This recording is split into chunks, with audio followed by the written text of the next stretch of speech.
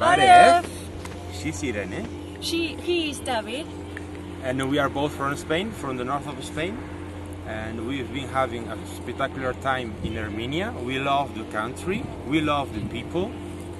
And we have been having a great time with one-way tours. I think they're fantastic. They're really good um, guide tours, and, and they are very welcoming. If you want to see all the landscapes, uh, try all the traditions and culture from Armenia, just come here and book a tour with one-way tours. We have something to say. Nexesh Shatensirum. Mengs is Satesirum.